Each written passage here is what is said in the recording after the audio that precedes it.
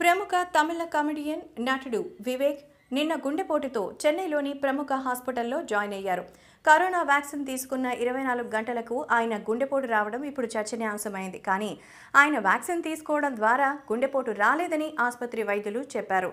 ఆయనకు గత కొద్ది రోజులుగా రక్తపోటు సమస్య ఉందని తెలియజేశారు. గురువారమే ఆయనకు చెన్నై ప్రభుత్వం కరోనాకి సంబంధించి గవర్నమెంట్ అంబాసిడర్గా నియమించింది. అలాగే కరోనా వ్యాక్సిన్ వేయించుకోవాలని ప్రజల్లో చైతన్యం తీసుకురావాలని శుక్రవారమే ఆయన వ్యాక్సిన్ వేయించుకున్నారు. మధ్యాహ్నానికి ఆయనకు కాస్త కళ్ళు తిరగడం కొంచెం నల్లతగా ఉండడంతో ఆ విషయాన్ని కుటుంబ సభ్యులకు చెబుతూ ఉన్నట్టుండి శ్వాస తీసుకోవడంలో ఇబ్బంది ఏర్పడడంతో కళ్ళు తిరిగి కింద పడిపోయారు. ఆయనకు కార్డియాక్ అరెస్ట్ వచ్చిందని హాస్పిటల్కి తీసుకువెళ్ళి హుటాహుటిన ట్రీట్మెంట్ అందించారు. ఆయనకు ఇరవై నాలుగు గంటల్లో ఏదో ఒకటి ఖచ్చితంగా జరగచ్చనేటువంటి ప్రాణాపాయం ఉంటుందని డాక్టర్లు కూడా ముందుగానే హెచ్చరించారు. మరి ఎందుకంటే ఆయన ఏమాత్రం అక్కడ ఉన్నటువంటి ట్రీట్మెంట్కి రెస్పాండ్ అవ్వలేదు. అనుకున్నదే అయినట్టుగా ఆయనకు కరోనా వైరస్ ఏమీ సోకకుండానే గుండెపోటు కారణంగా ఈ రోజు ఉదయం తెల్లవారుజామున నాలుగు గంటల ముప్పై ఐదు నిమిషాలకి కన్నుమూశారు వివేక్.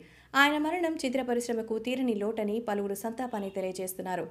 ఆయన ఇంత తొందరగా మనల్ని విడిచి వెళ్ళిపోతారని ఊహించలేదంటూ ప్రముఖులు సోషల్ మీడియా ద్వారా సంతాపాన్ని తెలియజేస్తున్నారు.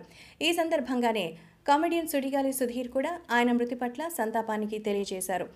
ఆయన కేవలం తమిళ నటుడు మాత్రమే కాదు. తెలుగులో బ్రహ్మానందం గారు ఎలాగో తమిళంలో ఆయన అలా ఆయనకి సంబంధించినటువంటి చాలా సినిమాలు నేను చూశాను. ముఖ్యంగా తెలుగులో రిలీజ్ అయిన సింగం సిరీస్ కానీ శివాజీ కానీ ఇలా చాలా సినిమాల్లో ఆయన నటన నిజంగా సింప్లీ సూపర్. ఆయన లాంటి టైమింగ్ ఎవరికీ ఉండదు. కామెడియన్స్ అందరికీ కూడా ఆయన ఎంతో ఆదర్శం.